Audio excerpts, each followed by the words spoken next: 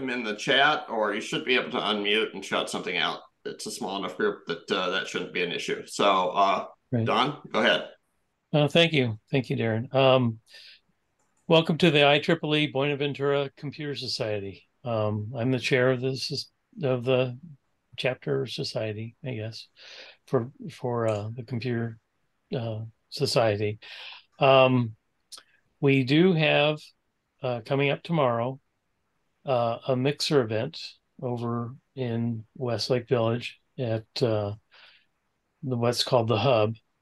All the information is available at the main IEEE Buenaventura site. So all you have to do is Google IEEE BV, and it should take you to that site pretty quickly.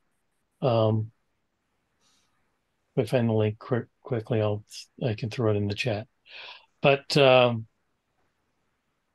um, that's the main event that's happening in the next uh, this week. Um, and today's talk is by Karl Geiger. Um, what to know about work, and I'll uh, uh, let Carl take it from here. All right, thanks, Don. Good evening, everybody. I hope everyone is well. Um, I see most people are muted, so if you have a comment, I think we want to put that in the chat. Is that right, Darren? Uh, they they should be able to unmute themselves if they if they want to, but uh, okay. the, I will also be watching the chat to see if there's any okay. questions that come up. Well, we do have a small enough group. Um, yeah. So so I will do the uh, most of the presentation, and when I, I, will pause at a couple of places to take questions before going on, um, in case there's any questions. We can do this more interactively uh, with a smaller group than with a larger group today. So uh, can you guys see my slide presentations? Tyler, nod your head if you can. There should be a big slide. Fantastic. Thank you, sir. Excellent. so this, uh, this presentation is what to know about work. Uh, I, I, have been a, a, manager for a long time in the computer science, computer technology field. And I was at a party quite recently, and there were a number of uh, folks what happened here?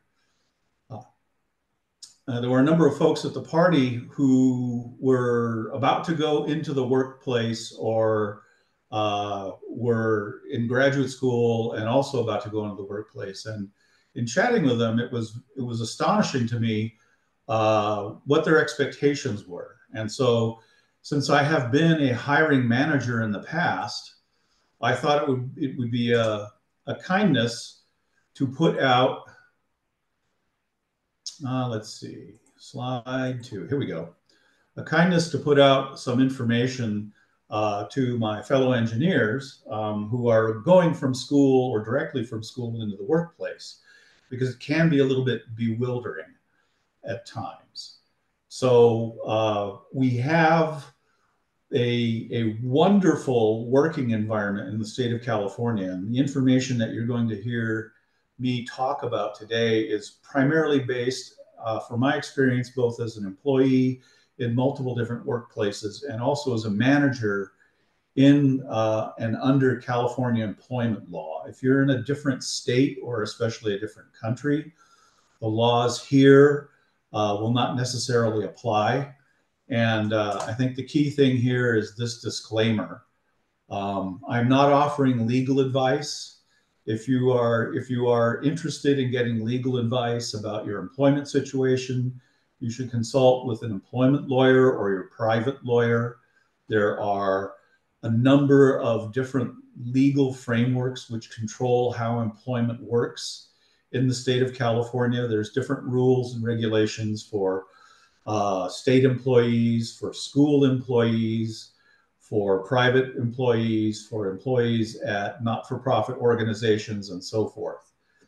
I've worked at not for profits, I've worked at uh, universities, I've worked at for profits, I've worked at the state, and I volunteered in a lot of different locations as well. So, what you're getting here is somewhat anecdotal uh, review of things that I have noticed and things that I wish someone had told me when I entered the workforce way, way long ago, back in the mists of time in the early 1980s, when I was a little baby hacker just coming out of the university.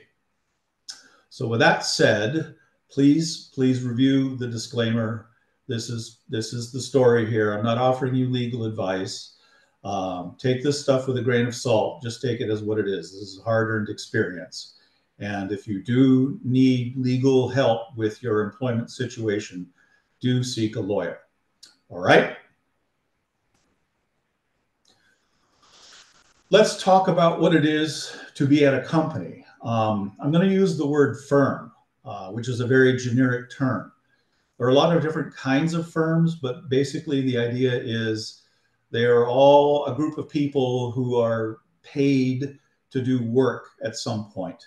Um, I don't really consider working for a volunteer organization like the IEEE or my wife volunteers for the uh, Ventura County Animal Shelter. Those really aren't firms because they don't pay their employees. Um, there are a number of different types of firms with a number of different, as I noted earlier, uh, legal frameworks under which they operate and how they treat their people and have to treat their people according to the law. But the general idea here is if you have a bunch of people working together, um, you're effectively at a firm. And what that firm does is extraordinarily important to how your workday goes and how things move and are planned and brought forward. So let's just keep that in mind that we're talking very generically and that the rules for operation inside a different firm uh, will be different depending upon what segment of industry that you are working in. Um, most of the more interesting uh, times I had working at various firms was at a public sector corporation, Amgen Incorporated. And that was quite an experience. Um, the uh, amount of freedom compared to, say, working at a, a uh, uh, university or in the, in the government uh, jobs is quite, quite wonderful and quite uh, exhilarating. But it was also uh, something of okay, you got to really pay attention here. And so I'm going to base a lot of this presentation on working for a publicly owned company where things can be a lot of fun and things can be a little less secure than you would normally have experienced if you've just been in school all along or you've just been working in the public sector for a government agency schools are very like government agencies, especially if they're well state-run school like a CSU or a UC. So anyhow, we're talking about firms, so treat this as a generic idea. So, so what is a, a firm has to exist? And the, the, the way a firm exists is that it has to pay its people, which means you gotta you gotta earn money, you gotta bring money in. And so, whether or not a firm is private or publicly held or paid for by the government or whatever, uh, there's there's a definite need at the upper management levels. There's a definite focus on bringing in a stream of revenue in order to keep things running. And it's not just paying the employees to do work. You also have to consider rent for the buildings and payment for the electricity and the equipment and the tools and the services and all the things that you use in order to complete the tasks uh, that the firm needs to get done. The point of a firm is to complete some task which is of value somehow, which is why you get money out of it. If you aren't getting money for your work, well, you're doing chores at home or you're doing volunteer work or you're working on a hobby. Still very enjoyable, but it's not uh, for pay work. And firms need to have some sort of revenue stream in order to stay alive it's like breathing it's like food it's like water. There's there's a lot to be said by paying attention to who pays for the firm's services which tells what product the firm puts out. Um, you would you would not expect a firm which say makes tires to be interested in the same sorts of things as a firm which makes say software. But uh, some of the managerial structures are the same but nonetheless uh, the the people who buy tires are very different than the people who buy software. And who the firm's customers are whether or not the customers are paying for it uh, depend uh, determines how the firm operates and behaves. So when you join a firm, you need to pay attention to who the customers are. And that is a very key point. So, for example, your line of business for your firm is what does it make and to whom does it sell it? That's pretty easy to find out. When I worked at the University of Southern California, we had three lines of business basically. One was the education of students, both graduate and undergraduate. The second was doing research on contract, and that was research on contract either to private industry or to the federal government. The federal government pays for an awful lot of research money, mostly through the National Institutes of Health and through the Office of Naval Research and through the DoD, um, also some through the Department of Energy. But by and large, who pays the bills directs what work gets done because you have to satisfy the customer. Um, the other major revenue source for the University of Southern California was its hospital system. And the hospital system was used to both train physicians and nurses, but it was also used as a revenue source uh, to support the hospital's operations, in which case the hospital segment of the university was very involved with contending with uh, the insurance companies and the medical firms and the payors, and there's a there's a whole bunch of complication that goes on there, and it's only gotten worse over the, the several decades since I left the university. But you can also look at any other co- any other company out in the real world.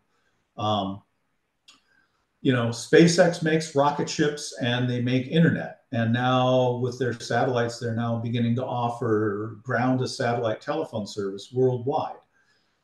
That fits very nicely with their other business plan. I mean, most of the rocket launches that you see from SpaceX are actually being done on behalf of SpaceX's satellite network.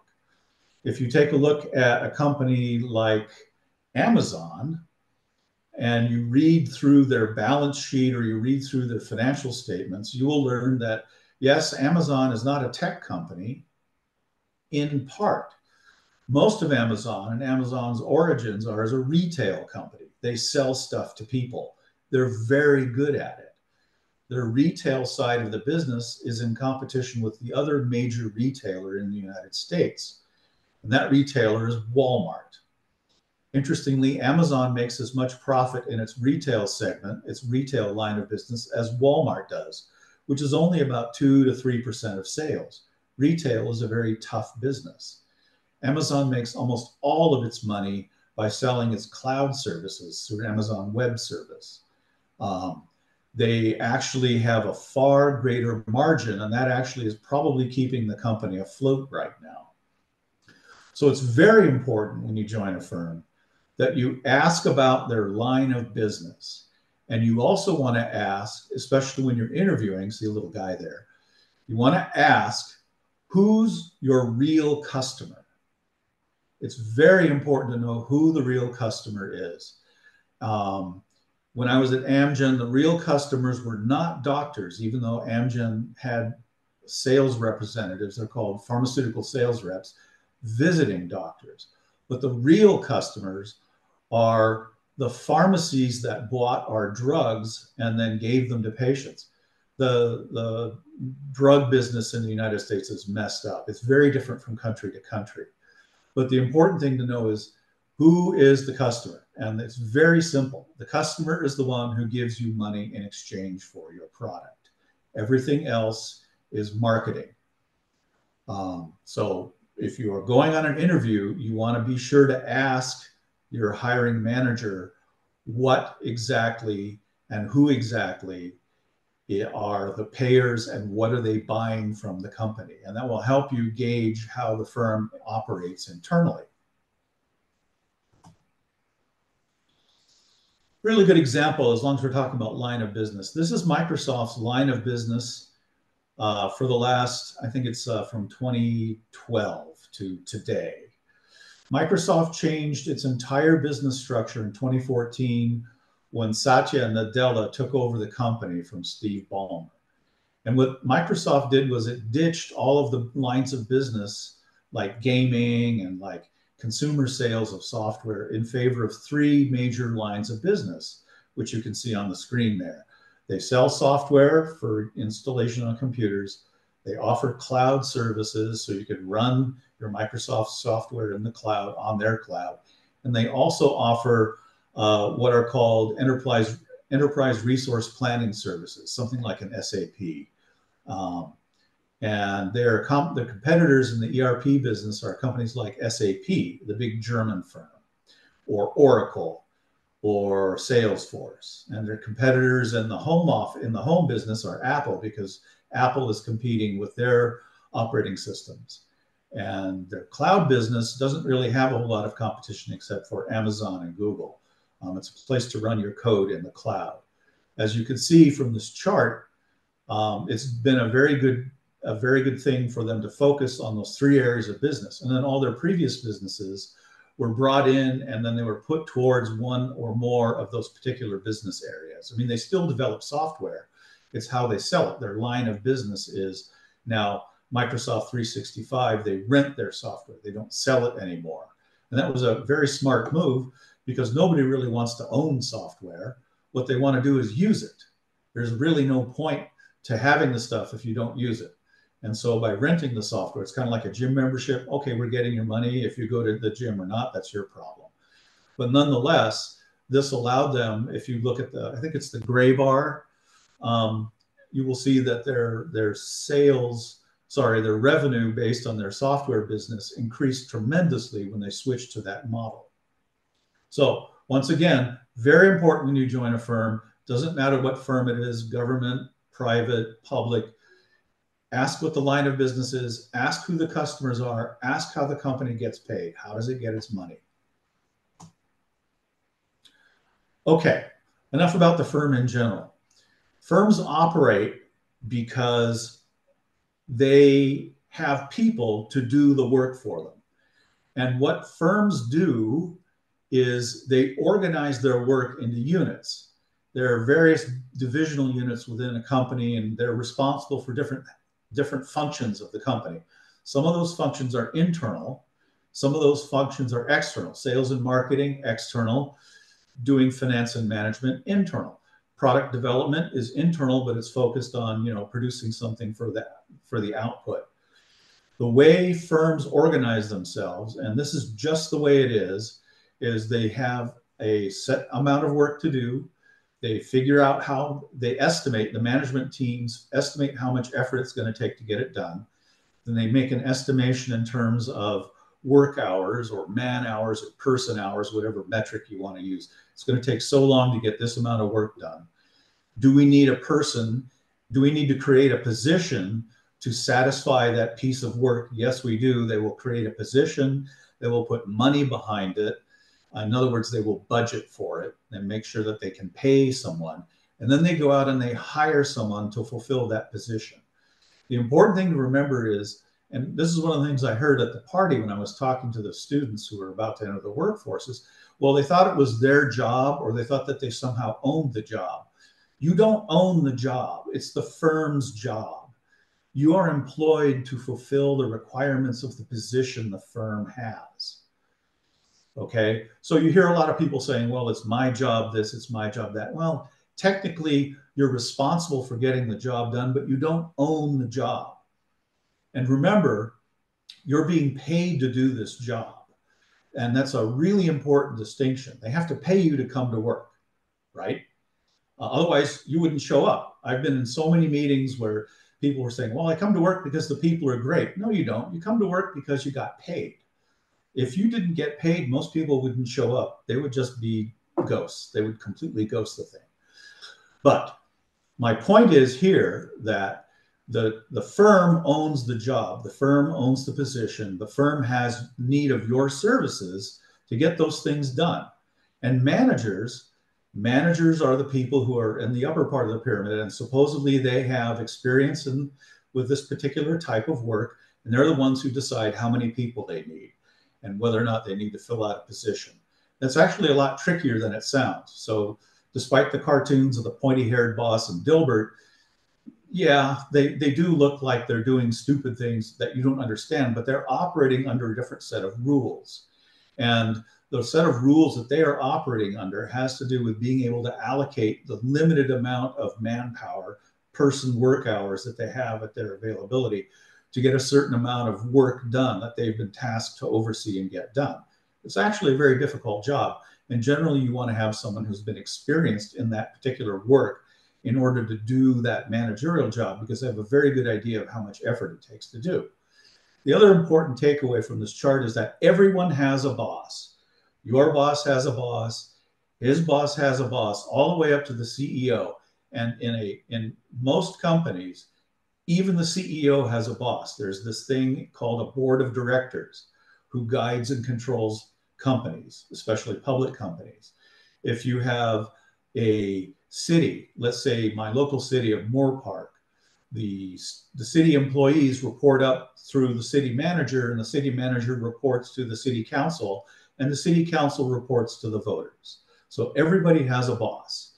Um, that's you know how things go up and down, and the messages can get muddled going up and down. But nonetheless, there are there's actual uh, a chain of responsibility which goes up and down, and you're part of it. Whether you start at the bottom and work your way up, or whether you insert yourself at, into a new position at a different firm, everybody's got a boss, and it will be that way for you know every time as long as you're employed somewhere.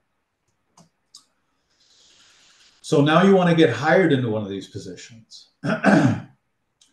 First, let me say that your technical skills are table stakes. It's they're hiring to to find someone who can complete the technical requirements, whether it's programming or spreadsheeting or managing a financial portfolio or doing project management, whatever, or managing other people. Okay, the technical skills that go with that are table stakes. It's assumed that you know what you're doing. I've seen, and I have actually been guilty of this, focus too entirely much on the technical side of the job interview and not enough on the personality side. The personality side is actually far more important, and I will get to that in a minute. The second, the second thing that bosses are looking for is, is this person going to be reliable? And I've had to fire people who were not reliable. They were not coming into work, or they came into work drunk, or they came to work such that they were hungover or un- incapable of doing the day's work at a reasonable pace.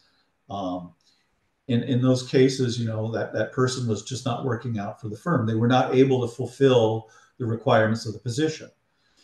And then the real key thing, the thing that that that gets overlooked a lot is you have to be able to work with the other people in the company.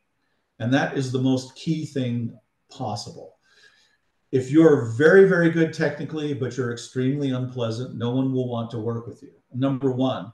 And number two, um, you won't be able to learn much about what's going on in the firm because you really do need to talk to people. Um, I'm, you know, I was raised as an engineer. I know many engineers have this, you know, it's my work and I'm just going to stick myself and keep my heads down and just do my job. You can do that to focus and get stuff done, but do spend some time interacting with your fellow employees. And I will talk more about that later. You would be astonished at how much you can learn from somebody else. The other point uh, I would like to make on this slide is when you speak with people, be deliberate, careful, and slow in your speech. Choose your words carefully. Once upon a time, I had one of my employees come to me and say, I noticed that you talk very carefully, and I noticed you talk especially carefully on the telephone. And I said, Yes. And he said, Why is that? And I said, Well, here's why because we're a multinational corporation.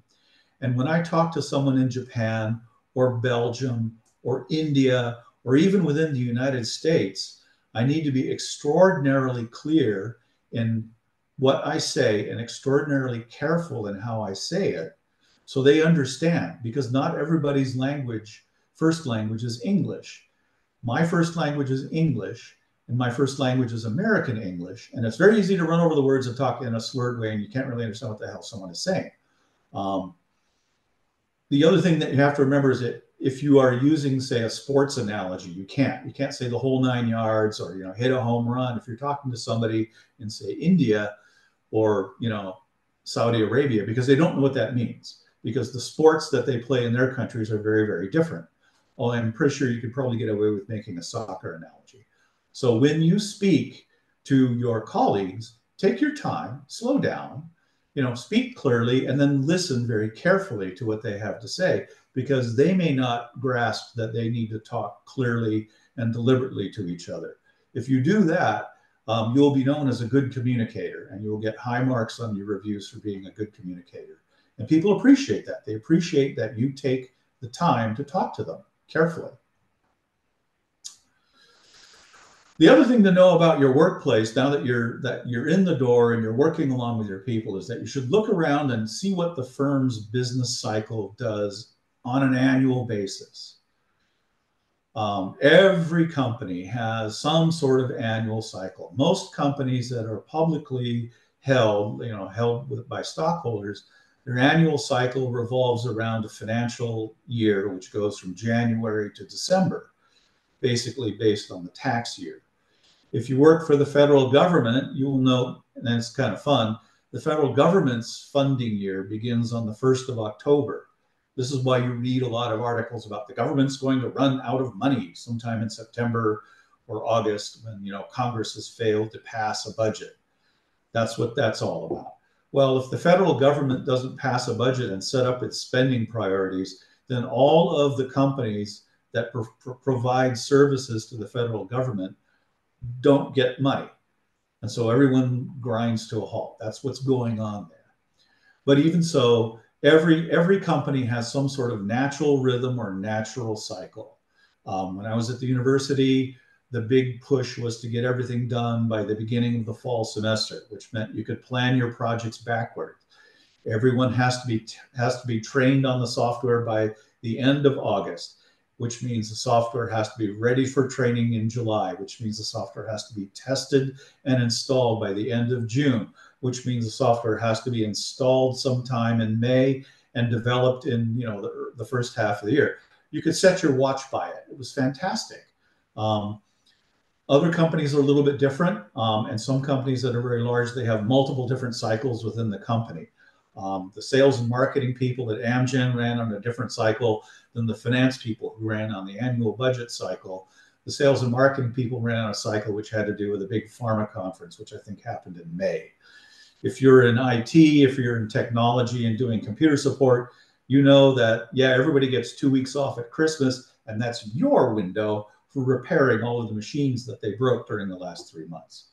So that's that's something to watch out for when you join a firm. What is the firm's natural cycle? The other thing um, I want to stress here is when you are at a firm, when you are in the workplace, there's no school like cycle of you know a semester and then you stop and then you know you have a break that doesn't happen it's just you finish one project and you start immediately working on the next project and then you do the next thing and then you do the next thing and then you do the next thing and that's um, a little surprising i think for a lot of people who are coming right out of the uh, out of school into the workforce there's not really a pause and the other thing is that you're working on a set of, of things which are all pretty much the same. You don't get a different class, right? You don't switch from taking econ to, you know, to taking linear algebra or something like that. You know, you are pretty much the guy who's responsible for this particular piece of work and you're going to be working on that thing for some time and that thing has a number of different components or a number of different phases. And that's how it goes. You just keep working on that particular piece until the entire project is done, or uh, you move into a different position, or you or the company chooses to do something else. Um, and so, with that, I would like you to, when you do your interview, you do want to ask, take the opportunity to ask, okay, what is the company's work cycle? You know, what does the work year look like here? When are you busiest? When are you least busy for, you know, the job that I'm working in? You know, how do you push people through? And and you'd be surprised at how responsive a hiring manager will be to that. It's like, oh, this person is serious about doing the job and being available, you know, when we need them to be most available. Leaving um, I've left several jobs. You know, uh, it happens. I've had jobs leave me. Um, but um, how you leave a job depends in many regards under labor law. The labor law I'm most familiar with is California. California is an at will state. Either party can leave um, at any time. The employer could say, Thank you very much, see you later. You could say, Thank you very much, see you later. Um, this is great. When I was working at a small company who had a division in, in uh, Hamburg, Germany, I was shocked to learn that their employees couldn't just quit and get another job because the one person I was talking to was clearly unhappy with what he was doing. I says, Well, why don't you just quit and get another job? He says, I can't because I have to fill, fulfill the terms of my contract. Oh, okay. Um, in the United States, generally the only people who have employment contracts are very highly placed employees at the VP, very the very senior level, senior directors, VPs, and above. Uh, so it's, un, it's it was unusual to, for me to find out that an ordinary employee in Germany had to had to continue to work at a job he disliked because he, he had to fulfill his employment contract. You don't have to do that in the state of California. You can go whenever you want to. Um, you you could be, as I mentioned earlier, you could be let go for cause. I don't want to get into that because a lot of it has to do with uh, legal arguments about whether or not your, your employment is working out or not. And I have a slide to talk about that a little bit later as well. But the key thing is that in California, which is an at will state, either party, employer or employee, can leave at any time, can, can just say, I'm done, I'm moving on.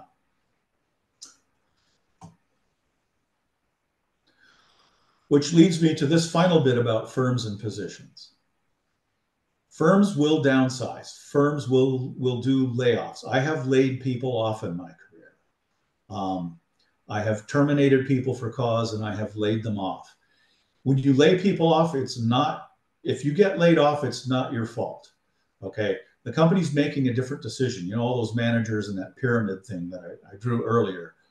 Uh, they have made in a, a conscious decision to spend their scarce capital, the money that they have to invest in the business, in a different direction. And this happens. Um, Amgen, for example, built up an entire team to do to attack a particular problem in cancer because they thought they could make money selling a particular kind of drug into this particular cancer market. And they went absolutely nowhere, and they spent a lot of money over five years. And then they said, "Nope, we're not doing that anymore." They canceled the project, they removed the budget, and 100 people were let go because they were no longer required. Um, most of those people were support people, but a lot of them were highly placed PhD, MD researchers whose specialties were in that particular disease. It's just how it happens. Um, industries change. Sometimes, you know, you, you lose money uh, and you can't make a go of it. One thing that an employer must do is that an employer entering a pay period must have enough cash on hand to pay the employees for that period. That's a legal requirement, insofar as I know. And you can't literally you can't enter a pay period without having that money. So if if the company's looking at, oh man, I may not be able to pay everybody, you know, in six months, they're going to let a bunch of people go and then keep some of their core people.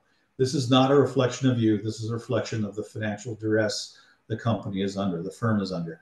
Same thing applies to the public's the, you know state employees public sector you know they may not get their budget approved by the state or they may have their budget cut back and they have to let people go. It's not a reflection on you. It's just the way of the world.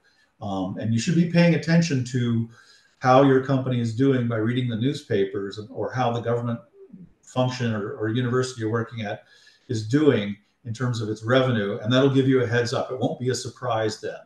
Generally, things will go along okay, but you do need to keep your, your eye out and your ear to the ground just to see how things are going as you work for any firm in any business in any segment of the market.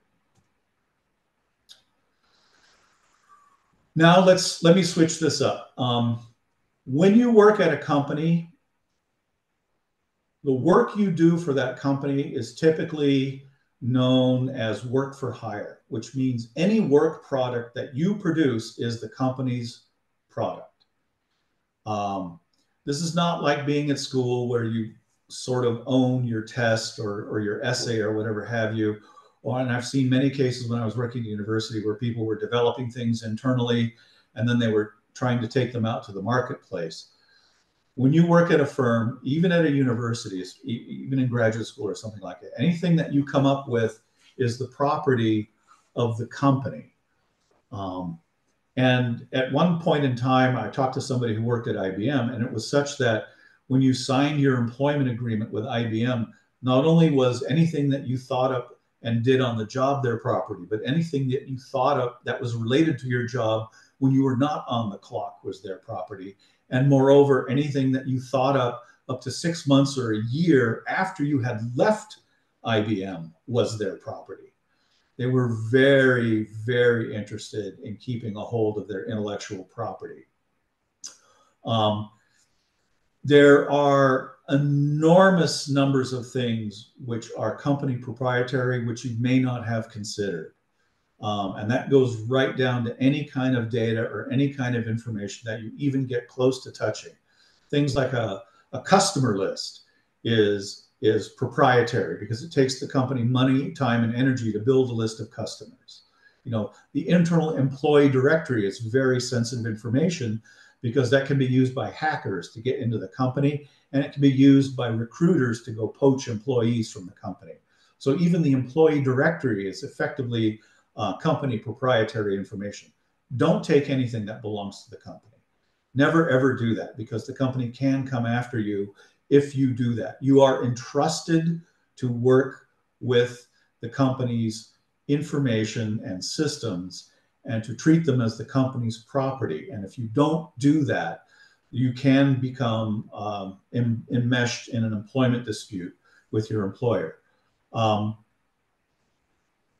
the other thing I want to stress, and I have actually a funny story about this don't use the company's resources to access non company services. I had a I had a group of people who were based in Switzerland, um, and they were at the end of a very thin internet wire, and they couldn't understand why they couldn't transfer their data. Well, it was because one employee, I'm being polite here, I, will just say idiot, had decided that they wanted to stream music and watch videos, and there wasn't sufficient bandwidth to support that and be able to do these big file transfers at the same time. So we put a stop to that.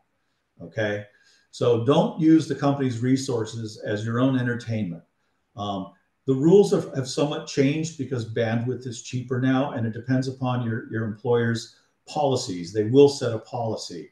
But in general, don't use don't use non-company services and don't take advantage of the company's services for your own personal entertainment or your own personal your own personal effort because if you build it or do it on the company's equipment the company has a right to it so even if you you know let's say you're writing you know the story of my life or the great american novel and you're doing it on company equipment it's the company's. So just don't do that. Do that on different equipment. Do it elsewhere, and don't do it on company time. Um, the last point I want to make is that there is no real expectation of privacy in the workplace. I mean, they, they're not putting cameras in the bathrooms. But if you're in the workplace, um, you don't really have an expectation of privacy. So the things that you say um, to other people can be reported, uh, they can be talked about with other people. Um, and effectively, you know, if if you're going to go around bad mouthing people at work, it's not going to go well. So don't don't even do that if you are angry with somebody and you're you have a friend at work and you're doing that kind of thing. Save it for after work. Just don't do it in the workplace where it can be overheard. Are there any questions on this point? It's really important to understand that the company's resources are not yours and that you're entrusted to use them wisely for the benefit of the company, not for yourself. I mean, this is this is something that I think a lot of people, especially nowadays with the bring your own device movement, uh, don't really grasp. So, are there any questions about this point? Okay. Uh, what about using accounts, like personal accounts, and logging into company devices? I wouldn't use a personal account to log into a company device. I would log into my personal my personal email or anything from inside a company device. The reason for that is once the data transits the company's network or goes through their gateway, it's probably being logged Um, so don't do that either. I mean, unless unless it's really important, an emergency situation, I would not routinely access my personal accounts. You know, not my Spotify, not my email, you know, not even my LinkedIn on company time. Remember, you're on the company's you're on the company's time, which means you're on the company's dime, and uh, save that for after work if you can. Charles, Darren, I, I do have uh, one comment. Um, also, don't use uh, personal devices for to log onto company accounts unless there's a very clear policy to do so. Yes, um, I, I was my exact next slide. all right, go for it. all right. So this is this is a big one. Um, one one of the groups that I was in charge of was in charge of uh, security at the company, and just just don't don't don't use your personal devices um, to do company business. And the reason for this is to protect yourself. Um, number one, you don't want the company to take advantage of something that they're not paying for, right? The company should be paying for these services. The the other problem is that if you have company information on your personal device and the company gets into a legal situation, well, guess what?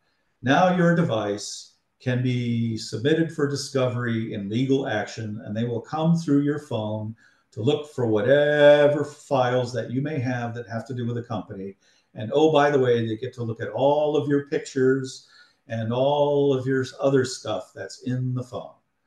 Um, so just don't use a, a personal device or any personal services to do company businesses. I had a company try to convince me to park money for them in one of my accounts. I'm like, dude, that's fraud. We're not doing that. Um, this this is just a seriously bad idea. So my my counsel here is draw a very very bright hard line between what's yours and what's the company's. Um, my daughter was was told to use her phone for company business at, at a company that she was working for. It was a healthcare company. I said, nope, it's not especially not for healthcare because healthcare companies get sued all the time. You absolutely do not want to let the lawyers into your phone. And I don't care what you have on your phone. I don't need to see it. I just know that that should be private to you. And I told her to tell that to her boss. And guess what? They issued her a phone. And so she had two phones a work phone and a private phone. And that's the way it should be. Um, likewise, if your phone uses, say, Wi Fi communications to do Wi Fi dialing, if you're making that phone call and using the company's Wi-Fi network, yeah, that's kind of a bad idea because now your data is traversing their network. So you have to think through this stuff um, very carefully. Um, just in general, just make sure as, as far as you can, never to use anything um, that has to do with the company and keep your, uh, for personal business and to keep your personal stuff separate entirely from the company stuff. This goes doubly so if you work in a high risk industry like defense um, or pharmaceuticals or healthcare or anything where people will sue at a drop of a hat or or come after you. You just absolutely do not want to do that. Um, and it does depend upon the firm, and they and they may or may not have rules that you can follow. But my my general advice is, even with their rules, is just never ever use your private stuff to do company business. It's just a bad idea.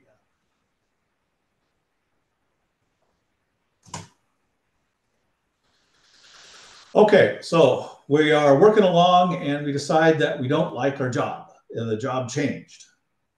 Uh, and you know, you were hired in to do one thing and you end up doing something else, and it's not really what you wanted. Okay, mm, that happens. Sometimes you, you know, you want to review the job description and the responsibilities that you signed up for, especially first when you first come on board and say, okay, this is in my job description. This is what I'm going to do companies will treat job descriptions more as guidelines. There's a famous, famous line that shows up in the job description, which is typically and other duties as assigned. But if your job description is so far out, if, if the job they're, they're asking you to do is so far out of your skill set and what you signed on to do, you don't necessarily have to do it. You could quit, um, or you could talk to your manager about it.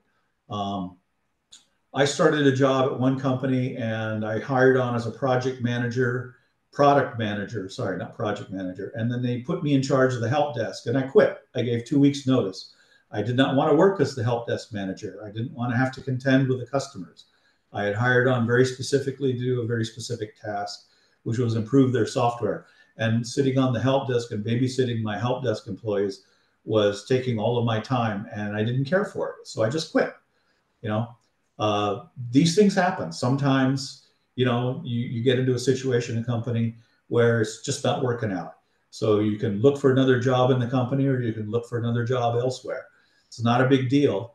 Um, it's simply the fact that, you know, sometimes uh, companies need you to do different things. And if it's not something that you enjoy doing, you don't have to. Um, there's plenty of work out there, and I'll get into that um, a little bit later. And here we are at that exact point. Here's the thing. Right now in the United States, there's a, what's known as um, structural problems. There's a huge labor shortage, especially for skilled labor. So this is actually a golden opportunity, especially if you're in tech and you're moving into the workforce coming out of school.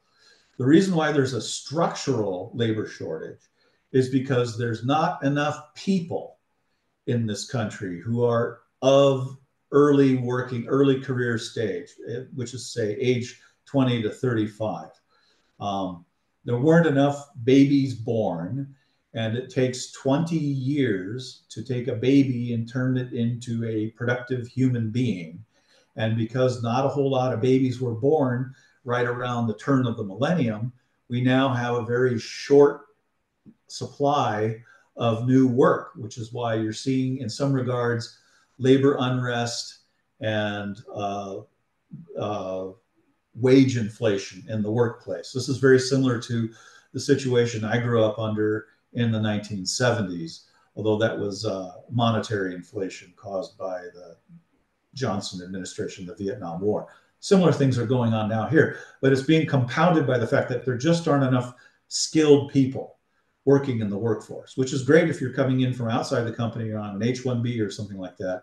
Um, we're the United States is desperate for people to do uh, to supply labor to all of those giant open positions.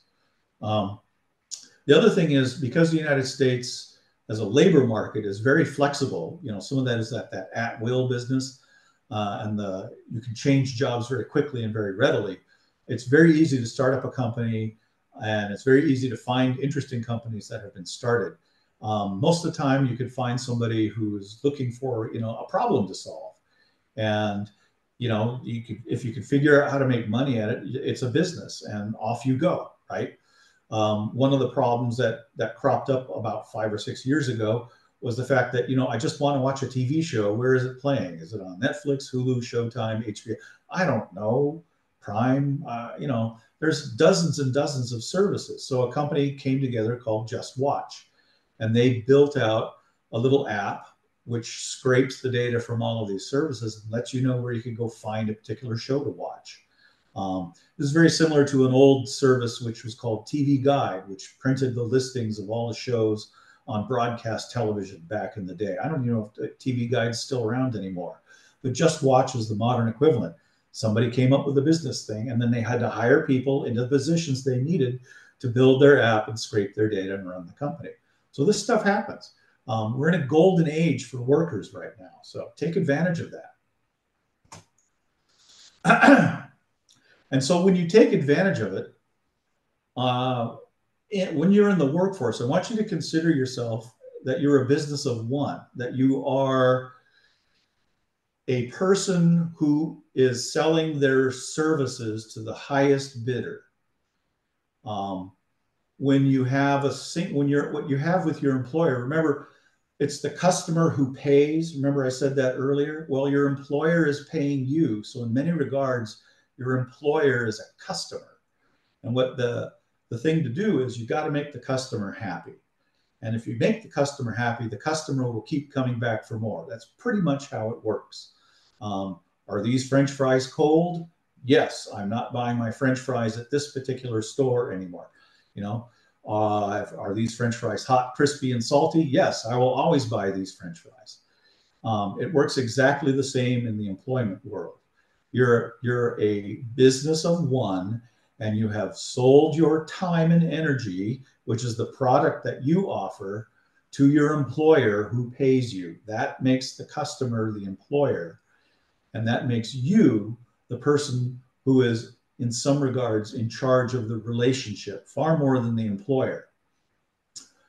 Um, I've been self employed. I've tried being self employed. I've run my own startup business. I had a side business when I was working at the University of Southern California.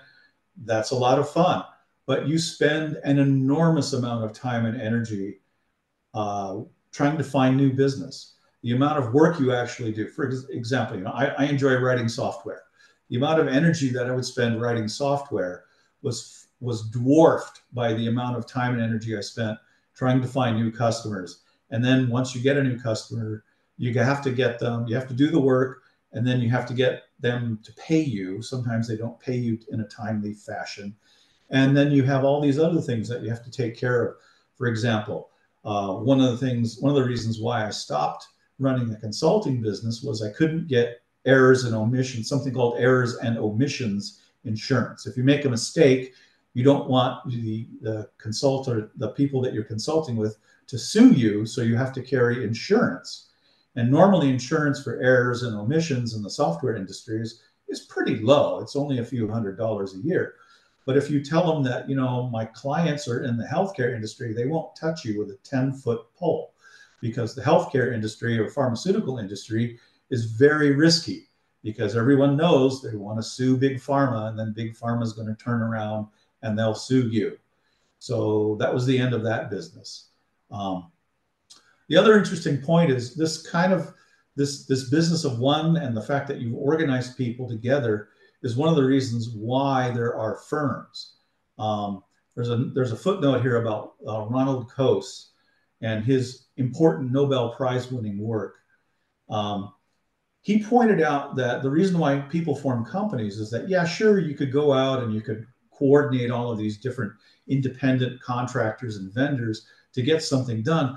But the amount of time and overhead involved in doing that is enormous. And the result is that you have less time to do the actual thing that you're doing, the product that you're making, or the service you're providing for which you get paid. Because work that is done to organize work is really kind of dead, dead time, right?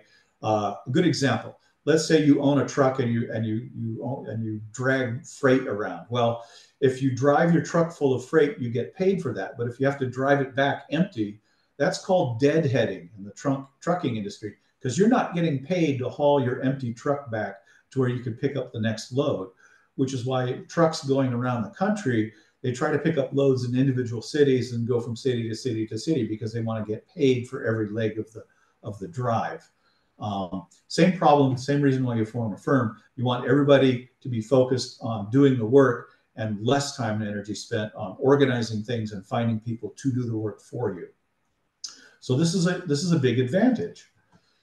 What does that mean? Well, it means that your employer is very interested in keeping a hold of you. It's it's very costly to hire someone into a position at a firm. Typically 25 to 30% of their first year salary when you figure in all of the time and, and overhead and pain and uh, opportunity cost losses.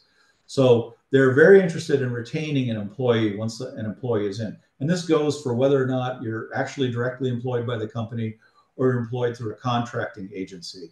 Um, so they will offer additional benefits. And my recommendation to you is to take all the money take all the benefits. Take the matching 401k. It's free money. It's just sitting on the table.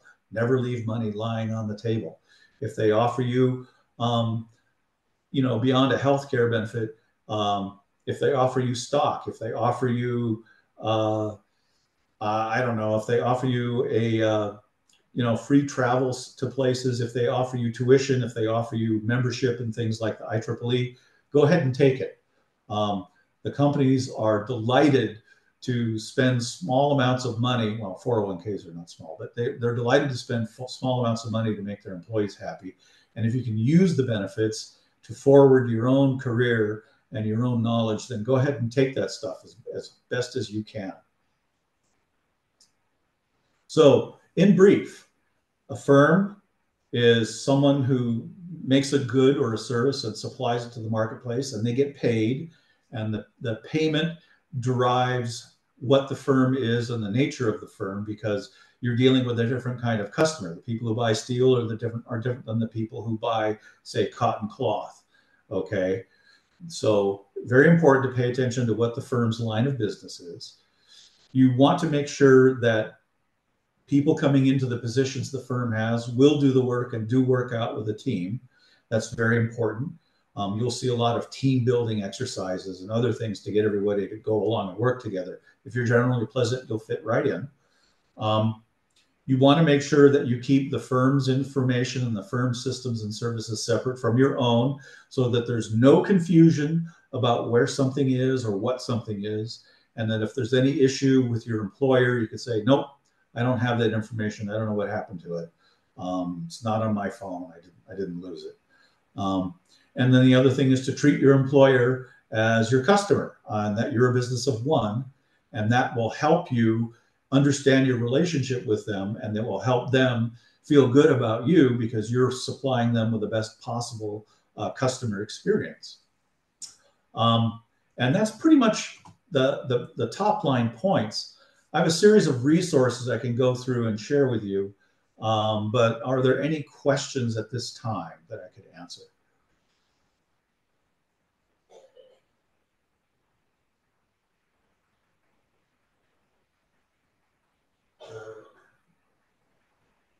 I don't see any in the chat either.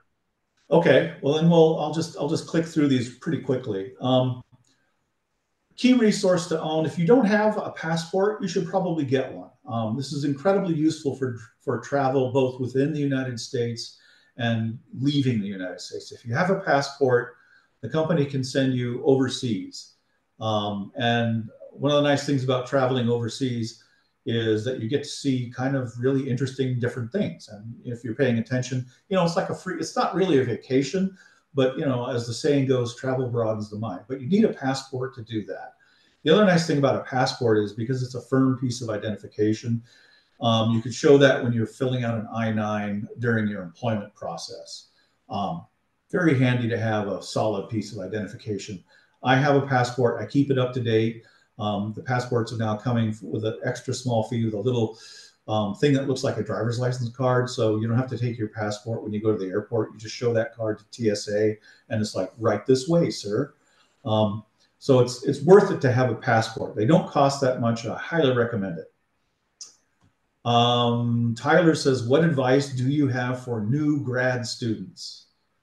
Uh, well, it would depend upon what grad area you're in for graduate students, I think I think the the major difference here is um, getting used to the difference between what's what the employer's work cycle is versus what the graduate student um, annual um, business cycle is within uh, your your school or your company. Um, I think that was the biggest the biggest concern I had from the grad students that I was talking to when I was at that event a few weeks, I guess about six weeks ago now um, very maybe it was closer to two months. They were very confused and they were apprehensive about what it would be like moving into the workplace, and it had to do with how they how they were going to plan their day. Um, so it's the difference between having continuous work around around a year um, according to the company cycle versus some sort of continuous or semi-continuous work that you may have in grad school and um, the shift away from the academic calendar year into the business year did that help?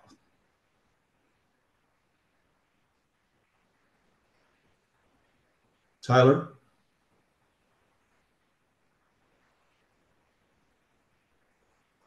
For undergraduate, some of the some of the same things for undergraduate. Um, I'll, I'll, let me let me address that a little bit further along. For an undergraduate, uh, a good thing is to take advantage of the employer's benefits for furthering your education on their dime, especially if they offer a tuition program.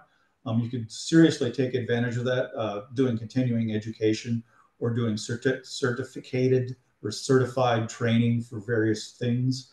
That would be, if you move into the workplace, I would do that.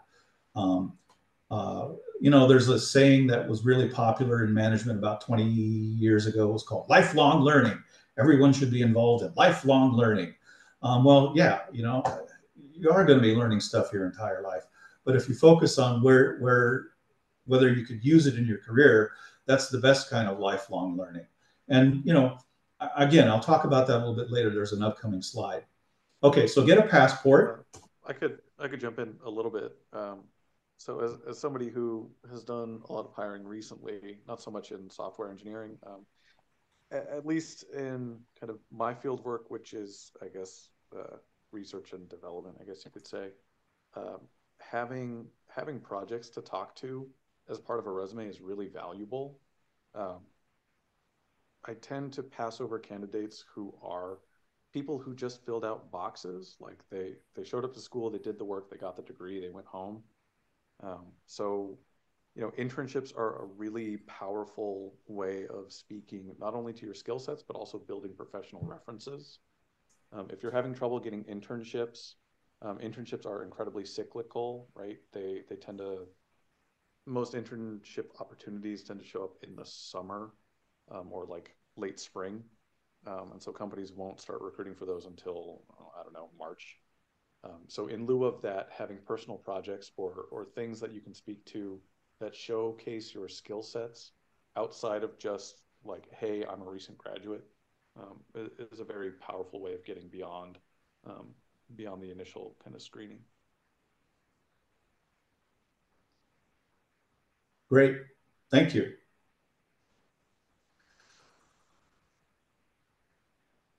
The next, the next recommendation I would have, and I, this book came out when I was halfway through my career. I found this tremendously helpful uh, in understanding my boss and understanding how the bosses think. It's mostly about finance. A lot of companies are run by people who understand only finance. They don't necessarily understand the line of business per se. Um, but the, the MBAs who tend to run or end up running a lot of firms and sometimes running them into the ground. Look at what happened to Intel when they hired a finance guy to be the CEO. Uh, now they're back to having a technical guy. Anyhow, so this book is actually probably worth your time. It's not 10 days, it's three weeks at least. Um, you can read it in the evening. The chapters are broken down basically by the coursework. So it'll help you understand what the boss is thinking or how the finance people inside your firm are thinking. And this this doesn't apply so much to the private to the uh, public sector in uh, you know state uh, employment, but um, they are operating under the similar sorts of uh, budget projections. The other thing that I found amusing about this book is, you know, as an engineer, as a computer scientist, you can see how the business people are trying to adopt the computer sciencey terminology and you know like it's really cool and, and advanced thinking. And it's like no dude you're you're just drawing a decision tree. This is this is not a big deal. I mean we used to do this, you know, as a programming exercise. Yeah, yeah, agile, agile. Oh, it's agile. Yeah, there's a bunch of buzzwords in there. So enjoy the buzzwords if you get this book. The next book, uh, which I found very useful, I had I had an opportunity to get um, stock and through stock options through Amgen. I didn't understand anything about that, and this book was helpful to me because it helped me change my emotional relationship to uh, money um, the, the key thing here is wealth is not money. Wealth is your ability to deal with problems in your life quickly, easily, and in reasonable comfort. Um, you know, if you're going to change jobs and you have six months of money or, or eight months of money in the bank to support, you know, you while you go look for a new position or new interesting things to do, you're going to be a lot less stressed about it than if you have to get a job right away in order to pay the rent. That's what money is for. Money is there to make your life comfortable and changing your attitude towards your money. Your money should be working for you as hard as you work for it. Actually, it should work harder.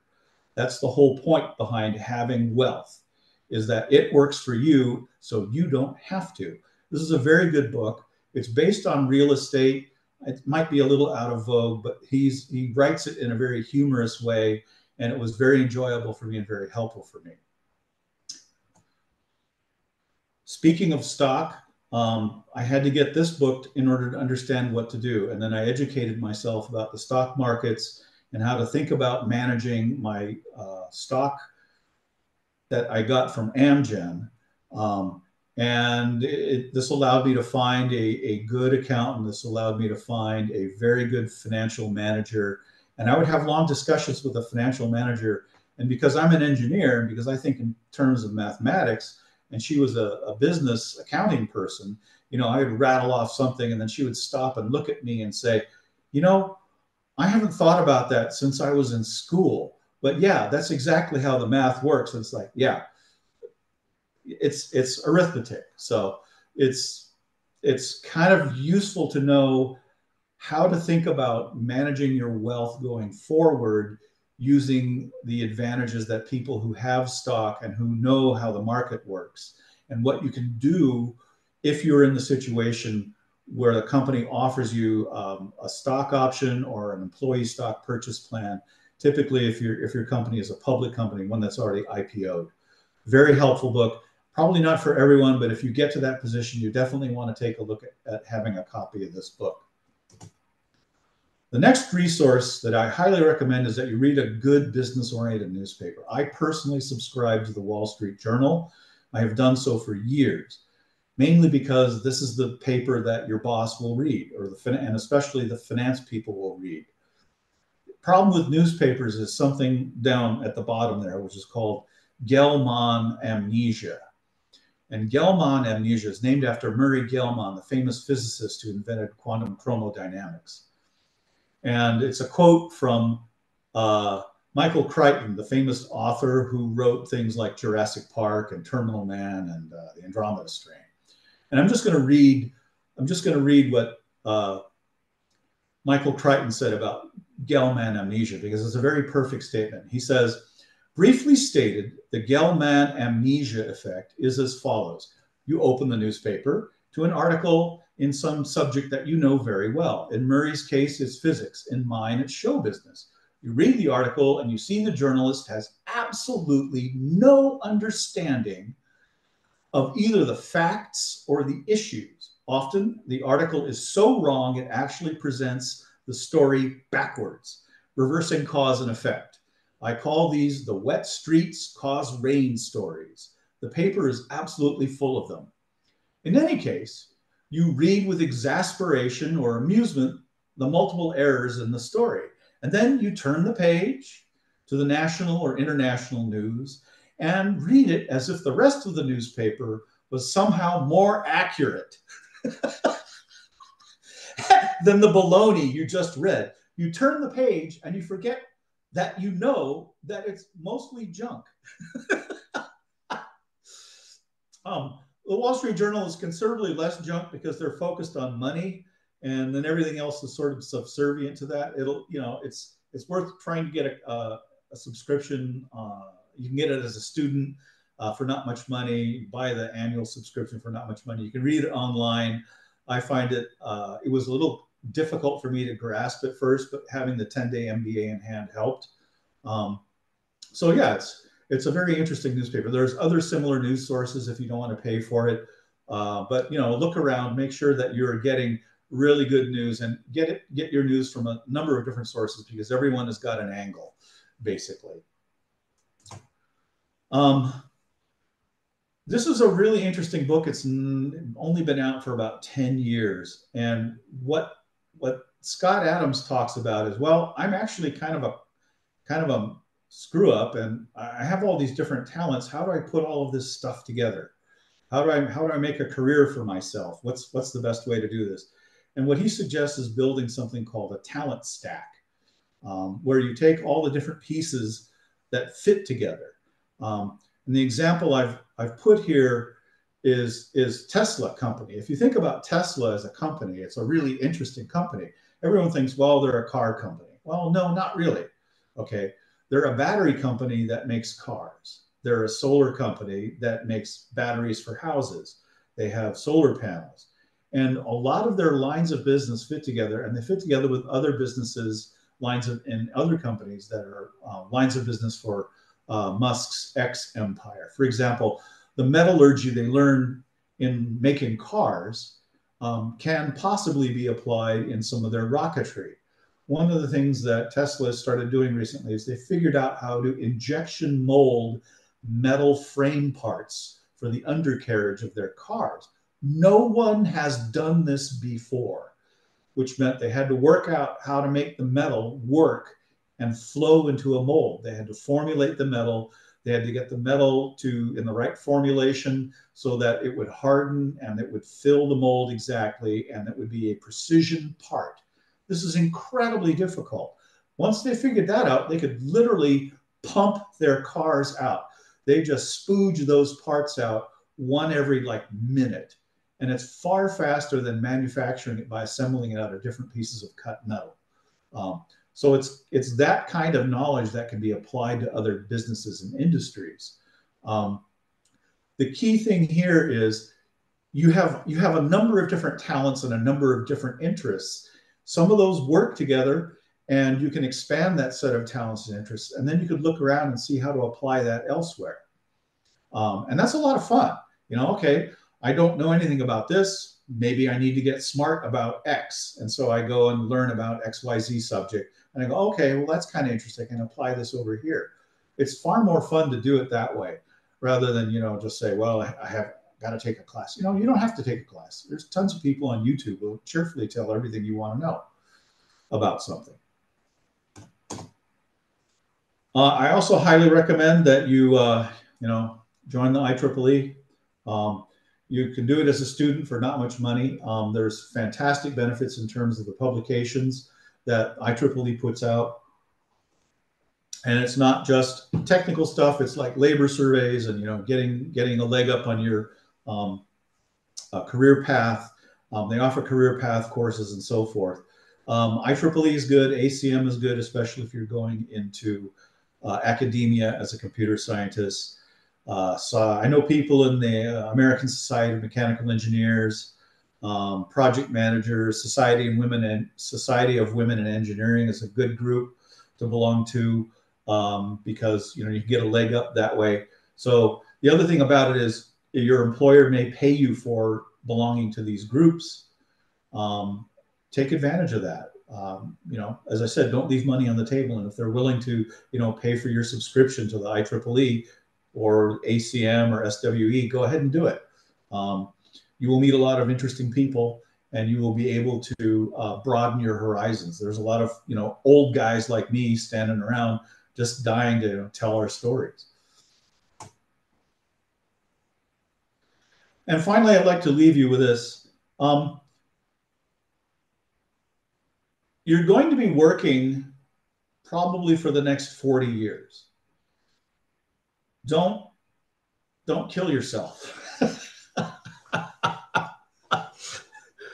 You know, uh, I retired from from Amgen at the age of 48 because I had a focus on building up my wealth so I could afford to retire.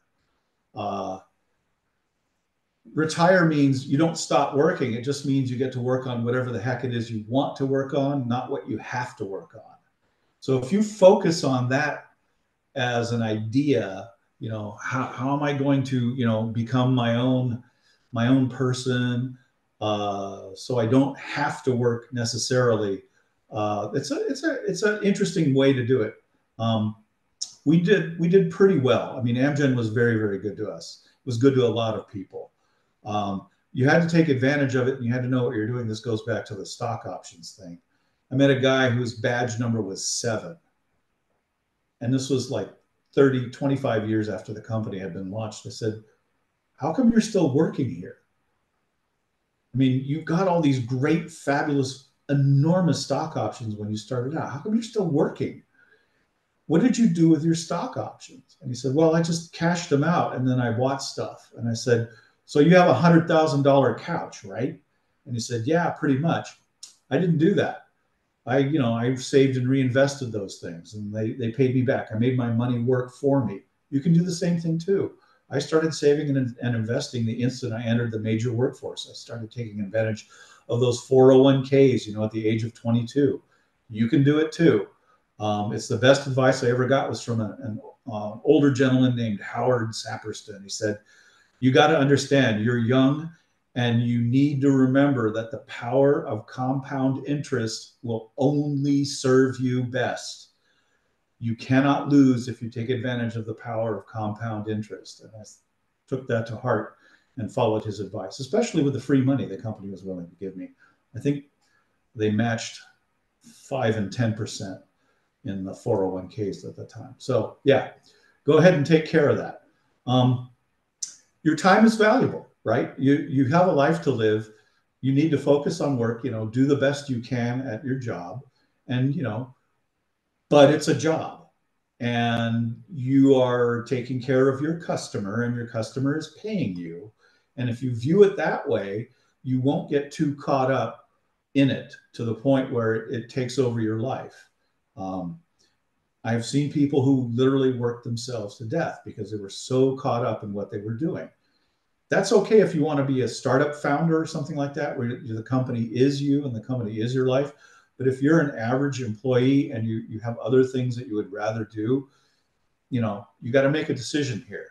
Um, just serve your customer as best you can, be your business of one, and, you know, focus on your family, focus on your friends, focus on, you know, whatever goals you like, whatever things that you, that you are interested in. Um, and do that, right? Don't, don't let your work life completely take over. Uh, let, let, let me put it another way. I, I got this tip recently. It's like most people live about 4,000, maybe 4,200 weeks. By the time you're out of undergraduate school, let's say the age of 22, you've already used up 1,150 of those weeks. You know, how many more weeks are you going to spend? Um, a work year is about 200 days of valuable work. And of that, maybe only half I found that, you know, by monitoring myself and keeping track of what I could do and how productive I am, I'm, you know, I could put in about, you know, four to six hours of solid work during the day. And the rest of it was just sitting in meetings being bored. Um, if you can maximize the amount of time you produce valuable work, you, you will go, you will go very far. Um, and you have to be careful with other people's time as well as your own time. Of this little presentation, this presentation took me and I had a couple of people look at it for me, you know, and make suggestions and, and changes and, and some additions too. You know, I added it all up because, you know, I'm, I'm a nerd. I like keeping track of things. It cost about 15 to 20 hours of work. So, you know, yeah, it's only 29 slides, but if you break that down, it's about, you know, what's 29 divided by 20, right? It's 20 hours divided by 29 it's what 45 50 minutes per per slide to produce this presentation and i'm taking up your time right now your valuable time yakking at you through the camera and with that i would like to say are there any final questions Karl, I will chime in with a, a comment while people are thinking of questions. Um, you did mention one thing about uh, you know speaking slowly earlier on. Um, I did have a manager once who accused me of trying to filter my responses. And I had to really explain to him that no, that's not what I'm doing. I'm I'm trying to be as accurate as possible. Yeah. Which is a kind of filtering to be certain.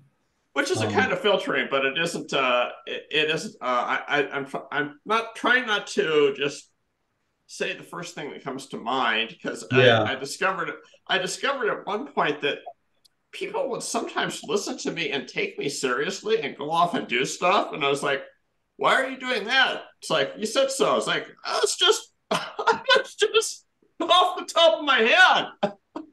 yeah. Uh, I, have got that. The other, the other thing is, I mean, there's a whole branch of psycholinguistics you could read up on and how people respond to language a really good case in point of a criminal use of language was uh, uh, what was that startup um, where the lady was defrauding people? Uh, uh, um, Theranos. Theranos, right? Yeah. So Elizabeth Holmes was the CEO, and she was a, a very attractive blonde-haired woman, which is always good for the investors. But her normal speaking voice was, you know, a standard high speaking voice of, a, of an adult female woman. But when she talked, to the investors or gave an interview, she dropped the pitch of her register and she tilted her head down and stared directly into the camera without, oh, I'm sorry, stared directly into the eyes of the people she was speaking to. And she practiced not blinking. And she said this, and she said she learned this trick from Steve Jobs. I've seen Steve Jobs speak in person, and those slick sales presentations, he gave one when I was at the university when he was trying to bring out his next computer. And he spent the entire day before he was due to present in the auditorium where he was going to present practicing. So, what you see is not necessarily the real thing. What you're often seeing is a show. And you need to be aware, guys, of when you're being shown a show. And you know, I, I can't tell you how to how to figure it out. You just have to you have to experience seeing people put on the show and work through that. Um, so it's kind of a superpower once you can see people do that in the workplace. Any other questions or comments?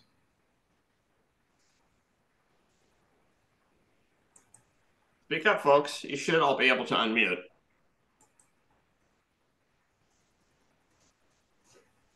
See, there's four chats. Going once, going twice.